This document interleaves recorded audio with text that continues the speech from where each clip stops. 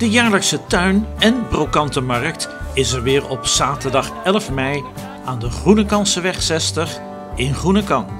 Van 10 tot 4 kunt u weer genieten van een gevarieerd aanbod.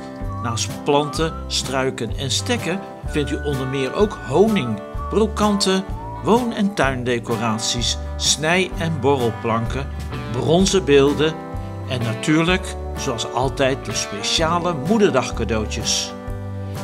Dit jaar gaat opnieuw een deel van de opbrengst naar Razem.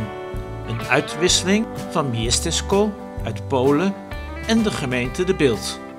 Uiteraard is er weer een lekker kopje koffie en thee en vers gebakken taart.